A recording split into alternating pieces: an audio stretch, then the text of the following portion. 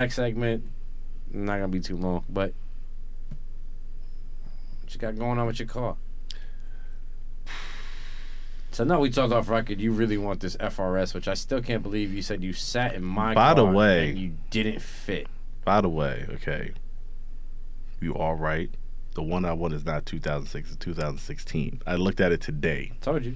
Okay, um, they didn't even have that back then. What do you mean? I don't think they had it back in 2003.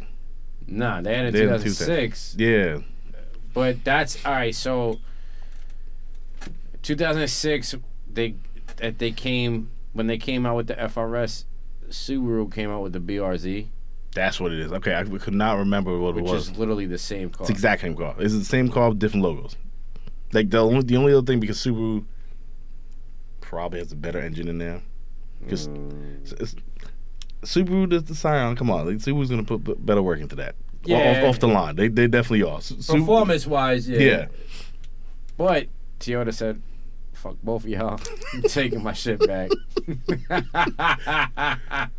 Nah, that's coming out with the 86. no that that is uh. I'm definitely gonna have that car. Give me about a year. I'm gonna have that car. But I still can't fathom. How tall are you?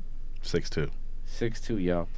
Can't fit in a G37 coupe, but could fit in a FRS. Well, look, maybe I didn't put the seat down. That's all I'll say. Wait, so you just because your head was touching the ceiling? I think uh, because I, I remember when I was younger, I used to just go to dealerships.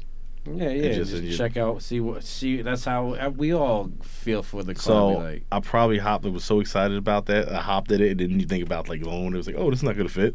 That's probably what ended up happening. yeah, because your head was hitting the ceiling. You know, you know another move, uh, another car that I would love to get. Um, I forgot what year, but the the 300ZX. Nissan. Yeah, Yeah, I forgot what year, but that's a nice car, man. It was a '90s car. Like it was. It was. you had- 300 ZX. That's the uh, the Z series. Yeah. That's an oldest joint. Mm-hmm. That's like right after that, the 350s came out. Yeah. Was it? Was it a 320?